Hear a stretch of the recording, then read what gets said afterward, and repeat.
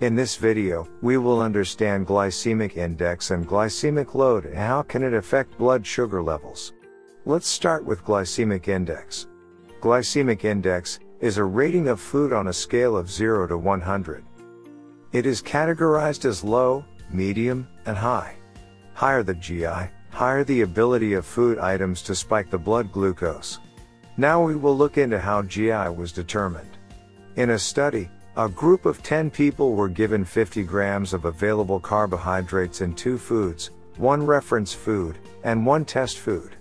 Post consumption blood sugar levels were checked after every 15 minutes for two hours, then the results were plotted in a graph for both types of foods.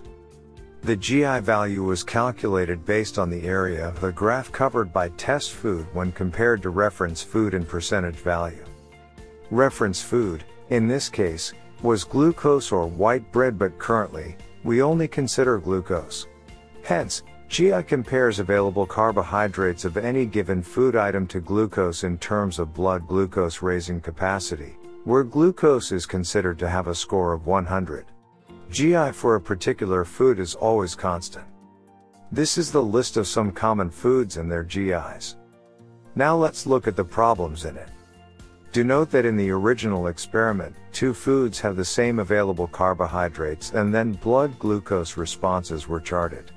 So GI comparison always assumes equal quantities of available carbohydrates in both foods. This means that if the GI of rice is 60 and corn syrup is 90, then you are comparing their sugar spike effect at equal quantities of available carbohydrates present in them. But usually, the general diet would have a small quantity of corn syrup and quite a lot of rice.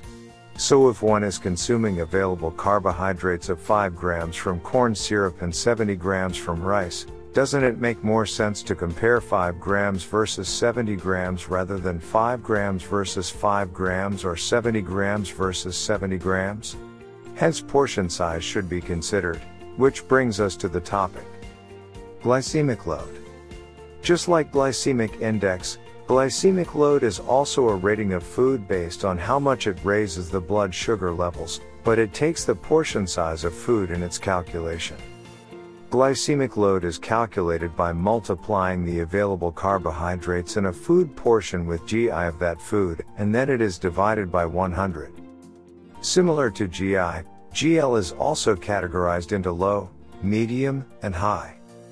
Let's take an example of watermelon. GI of watermelon is 72 which comes under the high category of GI. But if we consume 100 grams of watermelon containing 5 grams of available carbohydrates then the GL would be 3.6 which is under the low category. Do you see the importance of the quantity of food? To re-explain it logically, let's go back to our previous example.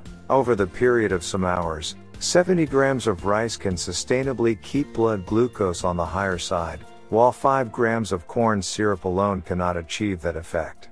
A food that has a lower GI can raise your blood sugar level as well when consumed excessively and the same is true for vice versa.